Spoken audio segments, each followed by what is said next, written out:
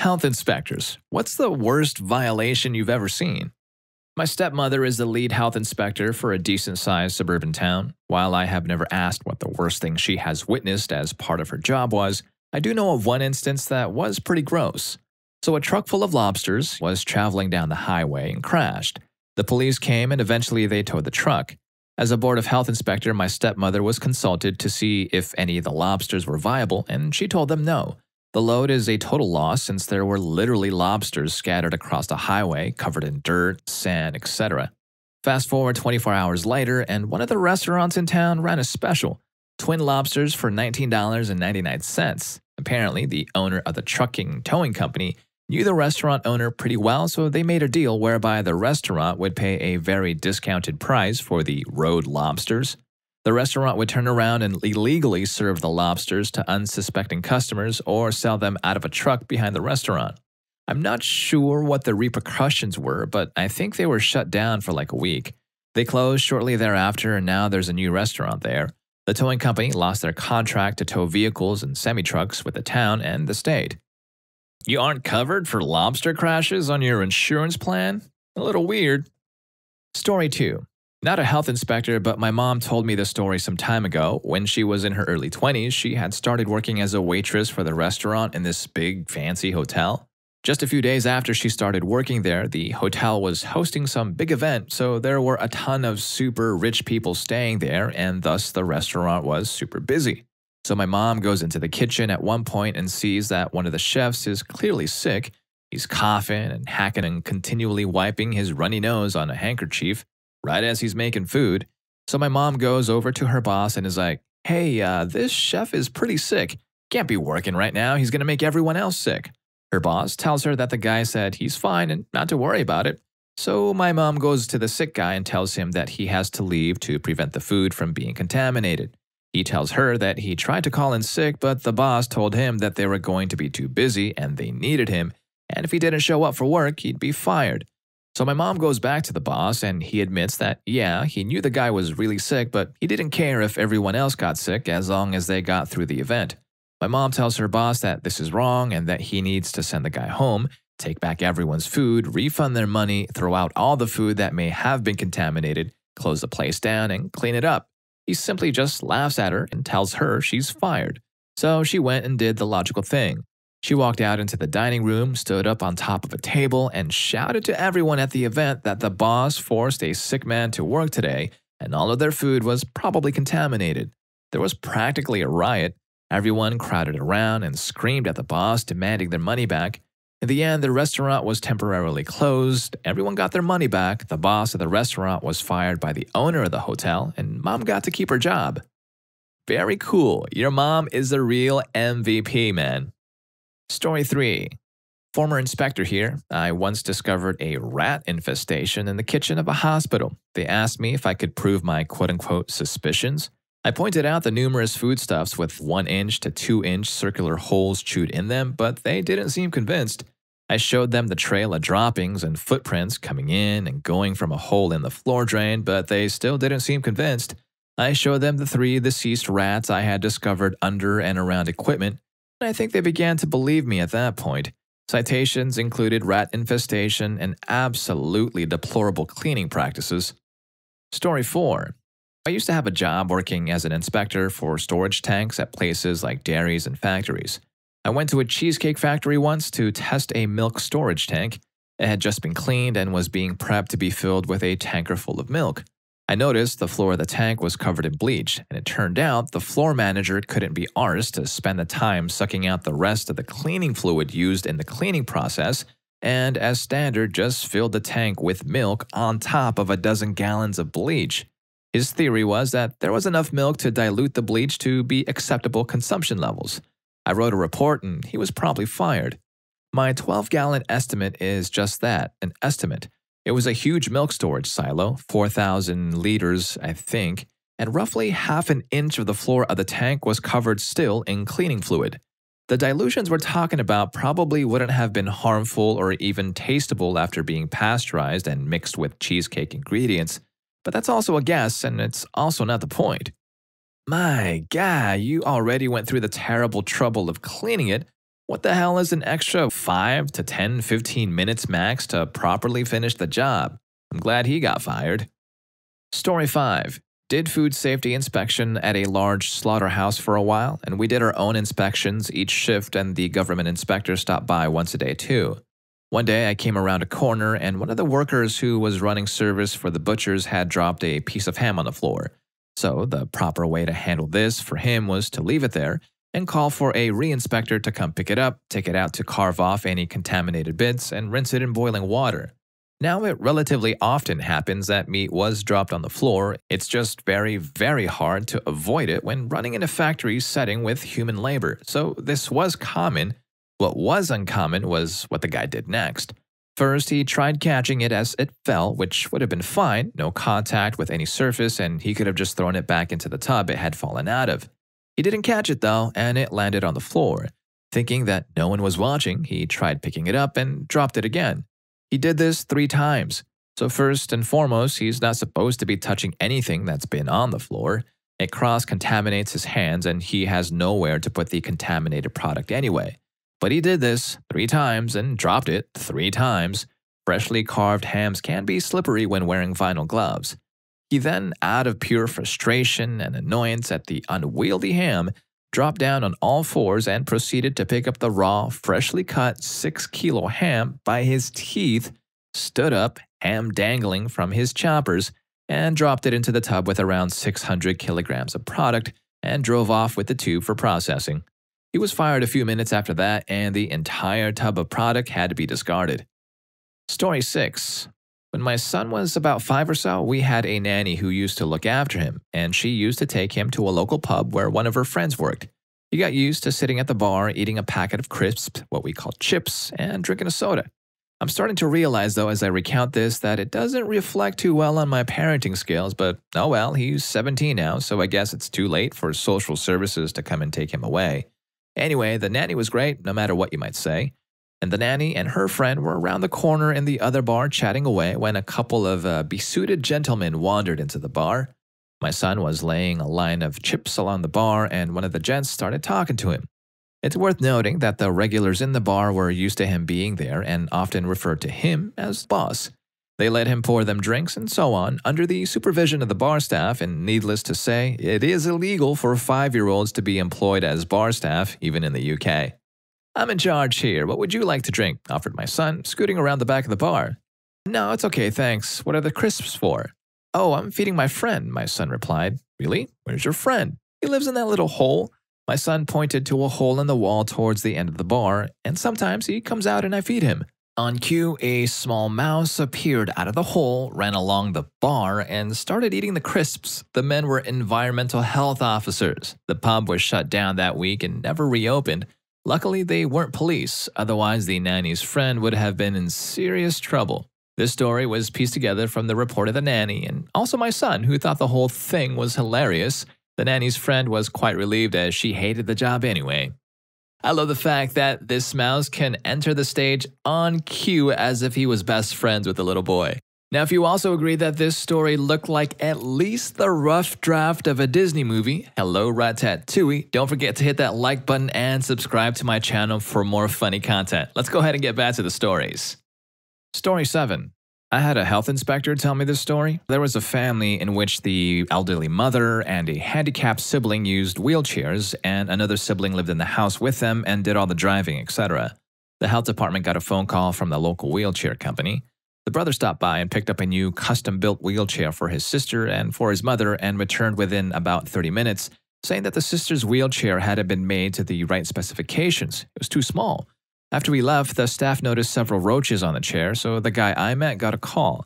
Apparently, it was summer, Midwest, meaning both hot and humid, and the house was all locked up with no open windows for ventilation, curtains drawn, etc. The inspector entered the house and he said it was so stiflingly hot that he started to get dizzy and he thought he hallucinated. He said that there was a sound like leaves rustling in the fall and the walls and floors were kind of vibrating. He then realized it was because they were literally covered in roaches. He immediately evacuated the three people living there, and the next day they tented and sprayed the house. He went in, in a Tyvek suit and knee high rubber boots, and said that the deceased roaches were about two and a half feet deep in most parts of the house. It's moments like these that make me think that people just straight up sometimes open a portal to hell in their homes or something. Story 8 not a health inspector, but my mom used to work at this restaurant where the owner just did not give a crap. It was a Mexican restaurant, and so my mom told me that once a lady came in asking for caldo de res, beef soup, but they didn't have any more meat, at least not the one used for that dish. They were about to let the lady know when the owner stepped up and told the lady that her food would be right out. The server and my mom were both confused as to what she was going to do. So this lady goes and literally digs through the frickin' trash and pulls out some beef, some still with bone. She then ran it through some water, cooked it, and served it to that poor lady. My mom says the lady was even sucking on the bone and she almost felt sick watching her. My mom quit that job soon after. Asked my mom again about it, and here is what she said. The bone and meat was not raw, it was left over from people who had ordered the same thing. They had almost ran out of that soup, all the meat was gone, so they thought they would not serve anymore. The owner grabbed the bone and meat from the trash, rinsed it, and threw it back in what was left of the soup, heated it up for a bit, and served it. Just thought I needed to clarify this. Story 9. Not a health inspector, but I worked as an assistant cook in a restaurant. Two weeks into the job, I opened a cupboard to get a can of tomato sauce and I saw a huge tarantula scuttling away behind the cans. I told the boss what I had seen, so that maybe we should get someone to deal with a huge spider living in the kitchen. My boss turns to me and says, Ah, I see you've met Eduardo. Just don't put your hand too close to him and you'll be all right. Later, another cook proceeded to explain to me that the spider had been living there for two years and they just allowed it because he kept rodents and roaches away.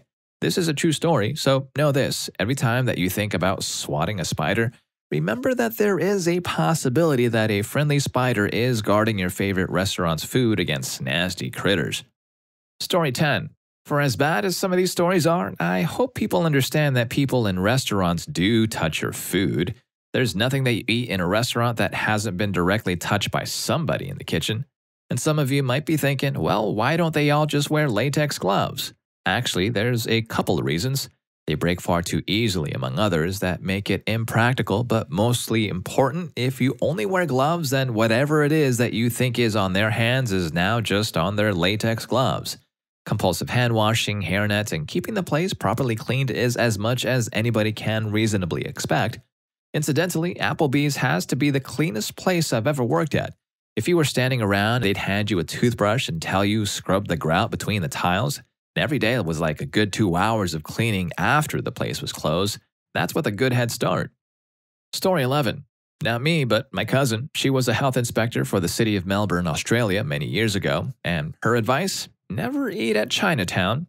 There's dead fish floating in tanks of seafood restaurants with barely alive fish in the same tanks, slime and mold in said tanks, rusty surfaces used as chopping boards, and mold covered wooden chopping boards raw meats prepared together with raw vegetables. The lady washing the dishes at the cash register was the same lady that cleaned the toilets and made the dumplings. She never washed her hands. And it doesn't matter how much you pay, whether you spent $200 on your meal or $20, they're all as filthy as each other. The most expensive and well known ones were actually the worst offenders. Cockroaches also, cockroaches everywhere. There is no such thing as an expiry date. Sauces mask everything. There is a saying here, though, that many people are aware of the nastier the place, the better the dumplings taste. Story 12. My mom's an inspector. My favorite is the woman who bought a bulk bag of rice from China. She starts working her way through it, and the rice starts tasting a little funky. Whatever, it's not too bad, and it was a great deal. Gets three fourths of the way through the bag and finds a mummified bird. The strange taste was because the rice absorbed it and preserved the corpse. The grossest one is probably the fish place that caught fire but didn't burn down. Turns out public health and the fire department need to go in to condemn the place. Mom comes in with her hard hat and some frickin' bulk boots and the fire chief with her. The smell is horrible, critters everywhere. Fire chief bails in the first five minutes to spew outside. Mom worked in a slaughterhouse and is metal AF, so she just mouth breathes her way through it. Then she starts hearing little plinking noises and feeling impacts on her helmet. It was freaking critters on the ceiling falling on her. The place definitely got condemned. The most hilarious one was probably a call that came through for a skunk bite. Turns out this toddler was at the grandparents' house on the back raised patio, sees a kitty and rushes towards it in excitement. Definitely not a kitty, though. The skunk sprays the kid full in the face. The kid is screaming, falls on the skunk. Skunk is freaking out and bites the kid. Grandparents are horrified and probably never allowed to babysit the kid ever again. Story 13. I'm not a health inspector, but I've worked in dozens of fast food restaurants in my teens and 20s to know a clean kitchen from a dirty one. I worked for a company that made take and bake Chicago style vegan pizzas in Seattle.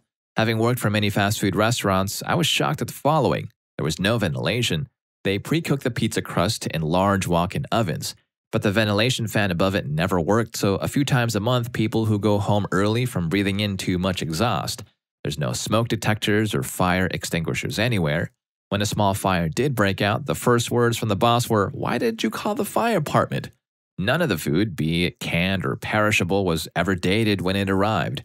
The dough roller was cleaned only once a month and only by a professional. Working at a Pizza Hut, they cleaned it twice a day. Got an oral warning when I took it apart and cleaned with mineral oil I brought with me. And out of a staff of 10 people, me and another worker were the only ones with food handlers permits. Driver who delivered the pizzas to QFC and Safeway stores had no valid license. Hippie employees built a compost pile for waste, which attracted rodents, and when it rained, juices flowed down and under the outdoor walk in fridge, propped up with cement blocks, creating a cesspool for insects. Hand washing sink was falling off the wall. The paper towel rack was basically a coat hanger nailed to the wall. On storage racks, chemicals stored above canned and perishable food. Cat living in the kitchen because, you know, to deal with the rats attracted by the compost pile. Employees dropping pre cooked crusts on the floor, just dusting it off and using them anyway.